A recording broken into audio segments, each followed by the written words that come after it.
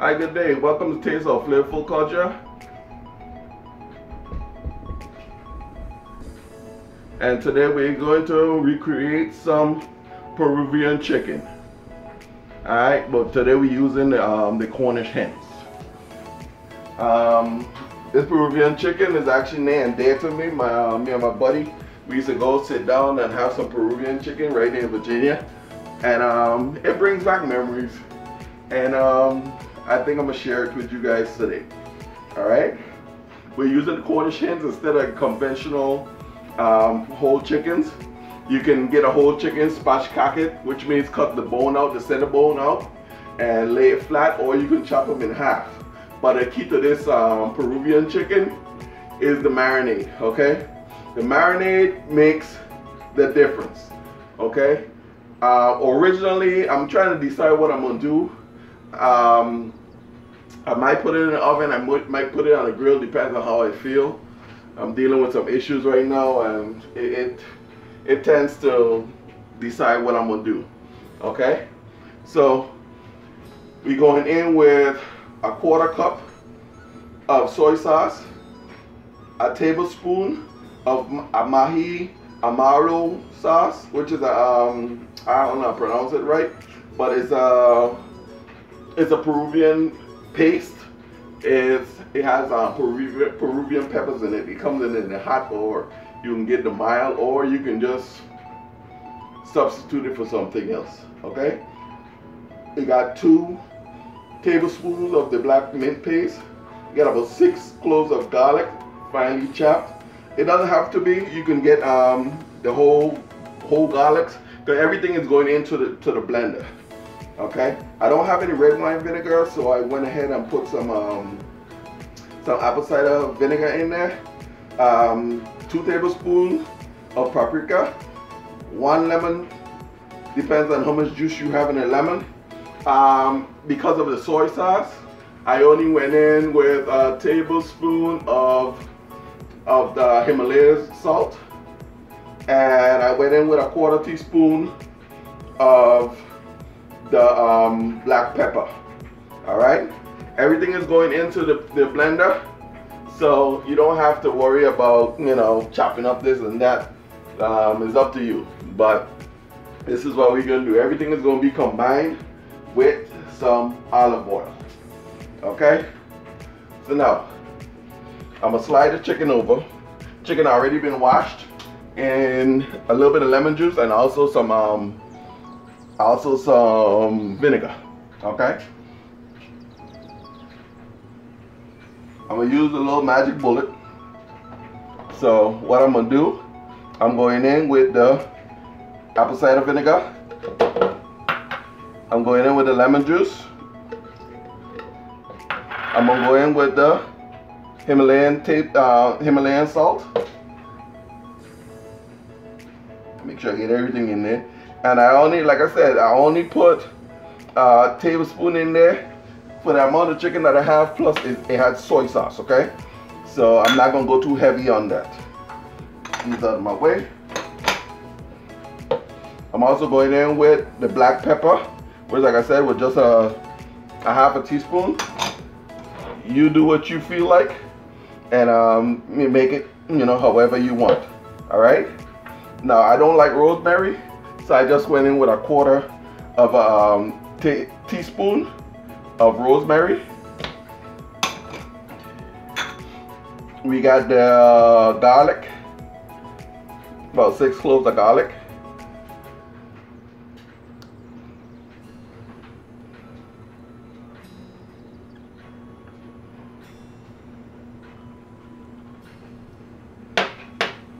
This is the mint paste.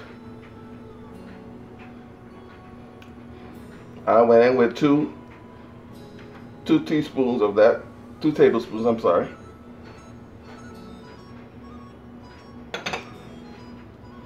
This is the um, Amahi uh, Amahi Amar, Amalio sauce. I'll put the spelling on there for you. I only went in with one tablespoon. And it's a uh, Peruvian pepper. If you can get the Peruvian pepper, uh, hot or mild is up to you. Um, that's the best thing. If you can't get that, um, you go ahead and you can, you know, supplement for something else. I usually don't call for this, but I love my onion powder. So I went in with two um, teaspoons of onion powder. We got basil. We got parsley and everything is a teaspoon. I went in with, this is the smoked paprika. I don't have the regular paprika right now. But I went in with a, um, a tablespoon and a half. Normally they call for two, but because of the smoked paprika, I just backed off a little bit because I might throw it on the grill and I don't want to have too much smoke. All right, well, is too much smoke ain't never a problem. All right, going in with the soy sauce. This is exactly why I said I only went in with a, a quarter of, um, I went in with a, little bit of salt that I did because I got a quarter of a um, cup of soy sauce, quarter of a cup of soy sauce. And then the, one of the stars is the cumin. Okay, this is one tablespoon of cumin. You can go in with more, but cumin is very strong. So you gotta be careful with it put these off to the side. And this chicken, like I said, it brings back a lot of memories because me and my buddy used to, um, me and my buddy used to go and get some on a regular, get a little bit of soy sauce. I'm gonna save my soy sauce. We used, to, we used to go and hang out and get some. And I, was, I used to get in trouble for it sometimes, but I used to, um, I used to teach people to operate buses. So Sometimes, you know, on the pike, I used to take my students there, you know, on training day, and I used to get the, the Peruvian chicken. You know, I'm like, hey, if they had money or not, hey, I made sure they ate. But um, long story short, I'm gonna go with some olive oil.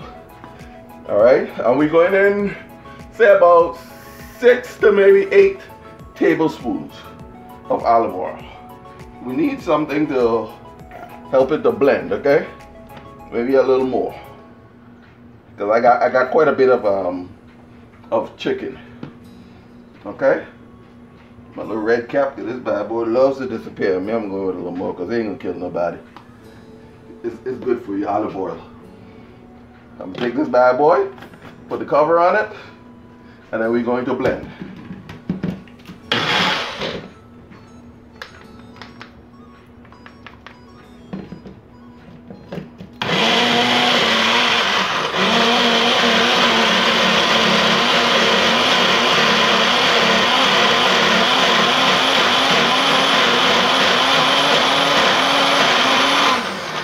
Alright, I'm gonna go in with some more olive oil because it definitely needs it. It's already a paste, but I want it to be a little more flowing.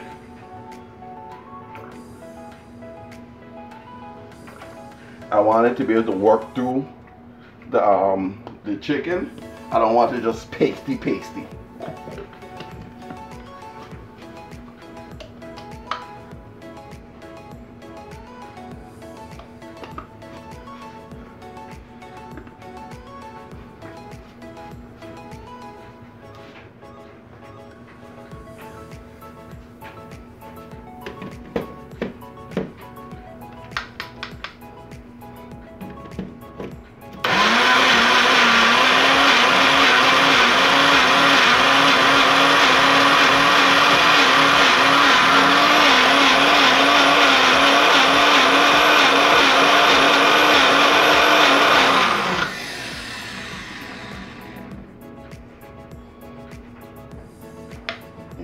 Dry spices.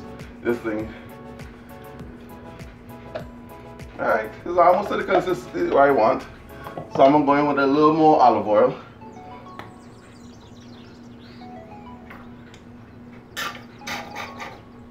I think that should be it. Because while being inside, because uh, I'm putting in a Ziploc bag. While it's in a Ziploc bag, it's to sit there and it's to um, all the, the, the, the seasoning is gonna work through the the chicken.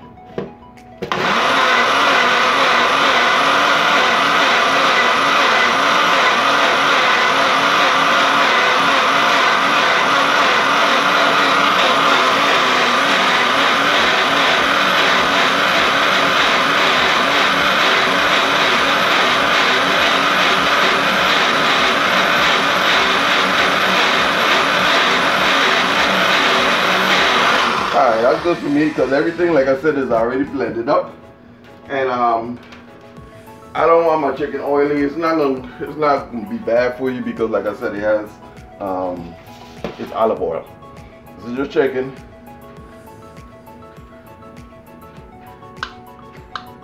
You just basically dumping everything on there.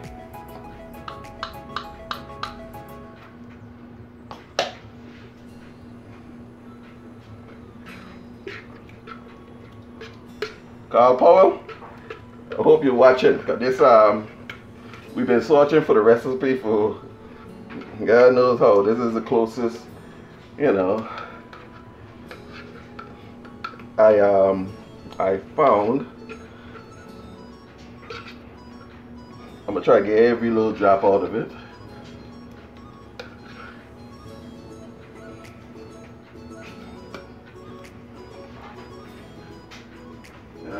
Bit of liquid.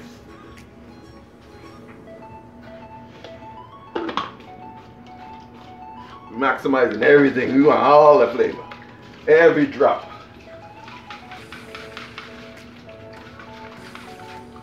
That's right.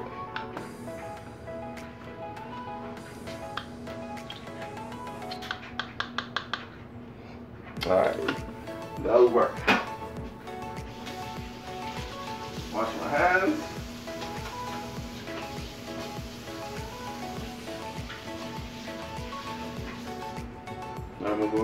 Gloves.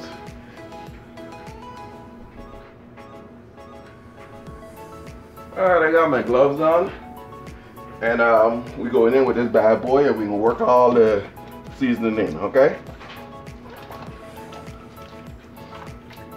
Now I did four pieces of chicken four chicken and um, I cut them in half. So I'm gonna be able to stick them in a Ziploc bag. Okay? To make sure everything is nicely coated. And like I said, the uh, marinade is the key to this bad boy. You want to get the seasoning everywhere, inside, outside, all around. And being in a Ziploc bag, I squeeze all the air out of the bag and um, put that bad boy in there. And by tomorrow, all the flavor would work all the way through. Cornish hen is not something they usually use, but ah, I wanted some Cornish hen, so this was just one way I can get two birds or kill two birds with one stone. All right. Now, the marinade is the key. Like I said, you got to let this bad boy season. A lot of people brine their meats and all that. You don't have to brine it because this is to act like a brine. All the seasonings in there. And it's to be in a Ziploc bag. And it's actually to be soaking. And it's soaking up everything. See, look at that chicken. Look at that bad boy. That's a beautiful marinade.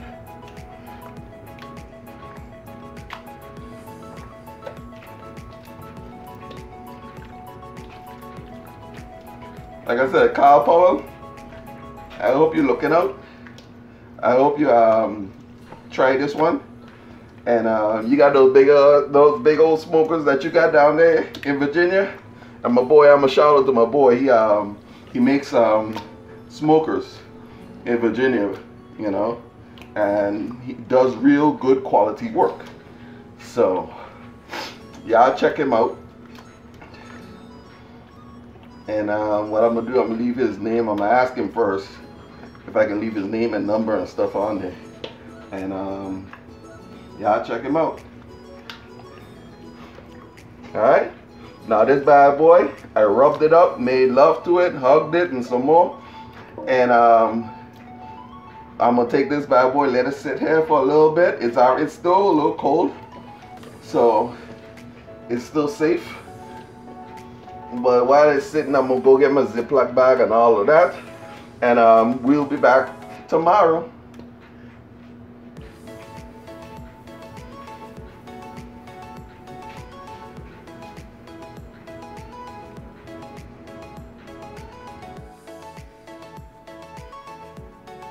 Hi, good afternoon. Welcome to Taste of Flavorful Culture again. we pick it up from the uh, yesterday and all we have to do is just place the chickens on the rack. Now the best bet when you're baking them because it's raining today so I have no choice but to go ahead and uh, put them in the oven. Um, Peruvian chicken is normally done on a rotisserie which is um, rotisserie fed with charcoal. And it, the charcoal actually gives it a nice flavor. But for today I can't really do that. Um, I have the oven going at 385 I have a baking pan. This is a pan I usually use outside for my little smoking and stuff. And I have a cooling rack okay? With the cooling rack what it's to do is to allow air to flow under the chicken and it's to allow everything to cook evenly. I think I might be able to get at least six pieces on this bad boy. And um, I'm gonna throw them in the oven. Have the oven preheating. I was picking up from yesterday. This is what the chickens look like after they've been marinated overnight. You just want to place them onto the rack. Get them a little space.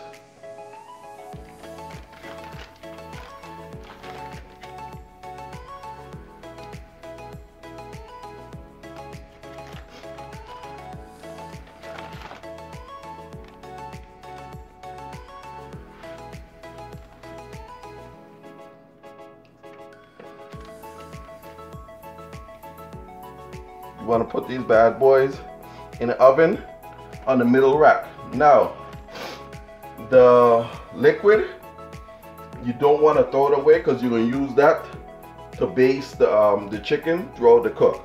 Okay?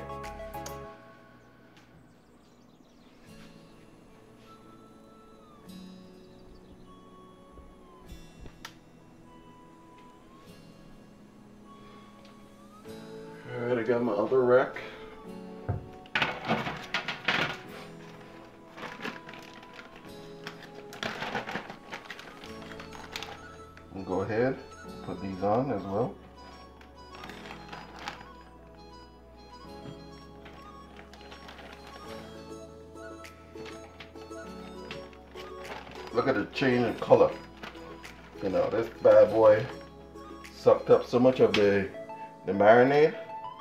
This chicken is gonna be awesome. Now I'm up to temperature. So what I'm gonna do is go ahead and place them in the oven the oven is at 385. I'm having them going for at least an hour.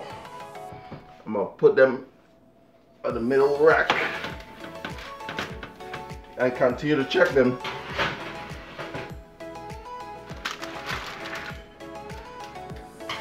And baste them well. Try to make sure you put them on the middle rack because you don't want them cooking too fast. You don't want them burning. You just want them to you just want them to be able to, to cook slowly and get nice and golden brown. In the meanwhile, you're gonna always keep basting within the first the, the 30 minutes. Um, once you get to the 30 minute mark, you're gonna put them in.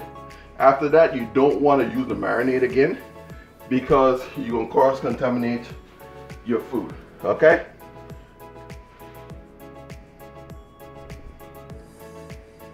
All right, while this is cooking, I'm gonna go ahead and um, make my little sauce for the for the Peruvian chicken. I'm gonna make the green sauce, okay? I don't really care for the other sauce, so I'm gonna just stick with the green one. Okay? Now the first thing you're gonna do, you're gonna wash and go in with a cup, cup of parsley,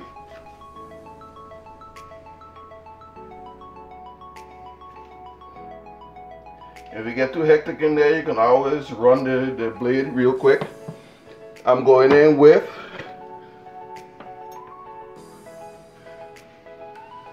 the Peruvian paste, pepper paste. Going in with a tablespoon and a half.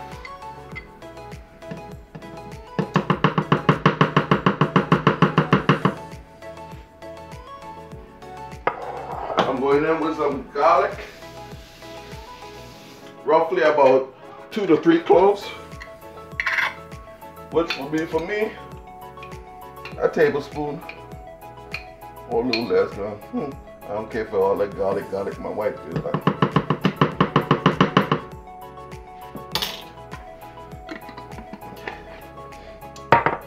Going in with some jalapeno. Now, you can go with at least two jalapenos, one jalapeno. It depends on how hot, how hot you want it to be. Um, I'm just go ahead in with that. It's just a little container full, like maybe two um, two tablespoons.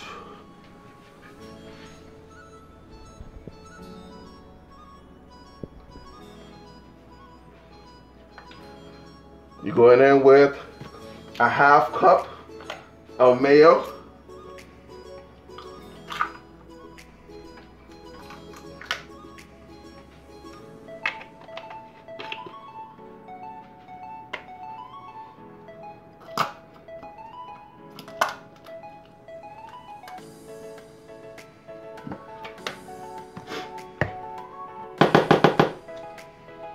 I'm gonna put the blade on let it run for a second.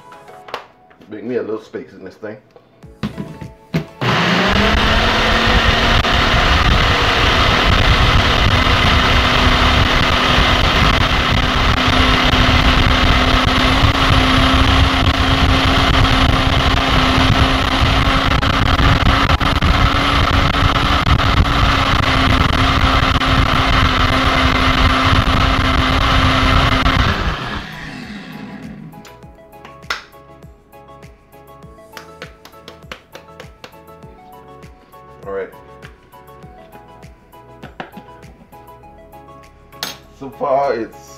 Already beautiful.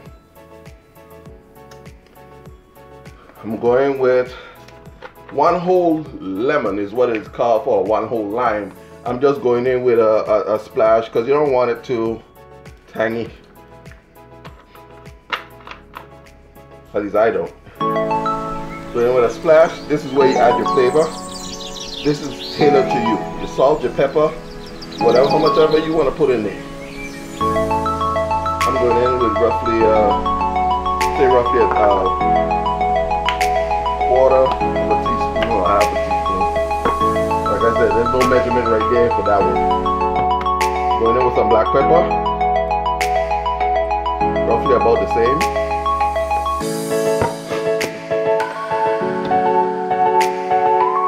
And then I'm gonna go in with some olive oil.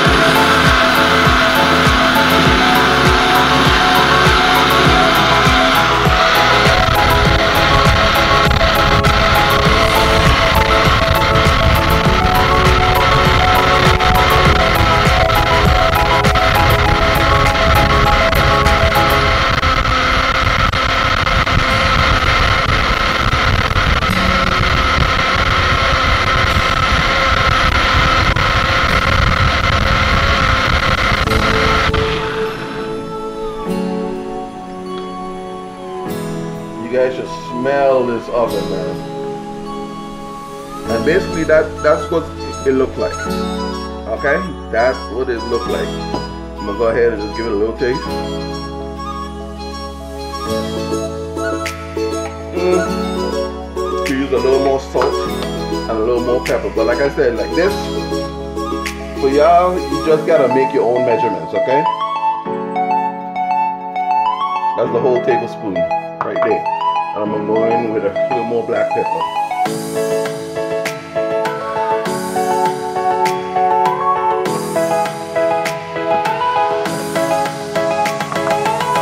Tailored to my specifications.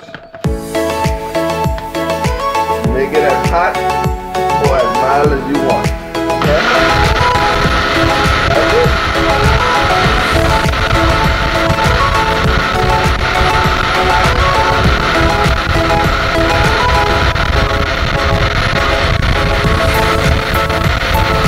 Alright, they say this thing is best made fresh every time that you, you're gonna make it. Now I'm not even waste my time tasting it again because I know with the amount that I just put in there, it is perfect.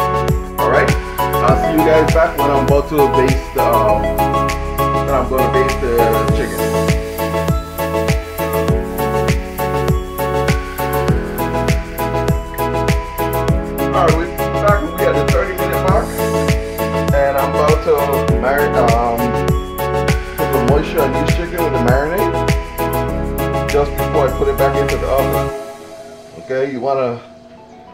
some more marinade on it. Keep adding flavor to the bad boy. It helps add color to it and it adds lots and lots of flavor. And that's what we always go for. Ton load of flavor. Nothing fancy. The skin is coming along good. I just dap that and um, ton little juice just spurted up from in the chicken.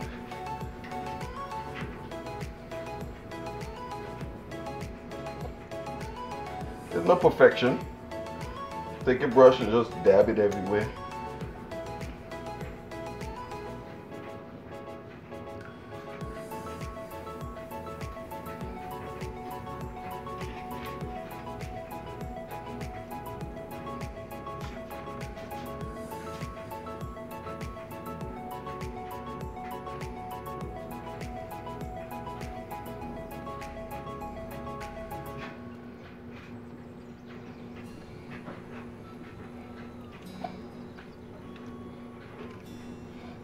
Marinade itself is not just limited to chicken. I would think it works well with other different, you know, other meats.